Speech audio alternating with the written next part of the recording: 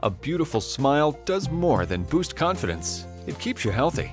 At Skyline Dental, Dr. Aaron Olson ensures patients receive high-quality dental care whether they're coming in for a first-time checkup or having a dental implant placed.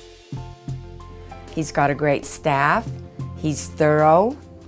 He takes his time. And um, I've just had lots of compliments on my smile. I've got my self-confidence back because of him. Our office accepts all major insurances, and we work one-on-one with patients to devise a payment plan to fit their budget. Skyline Dental. Attention to detail makes all the difference.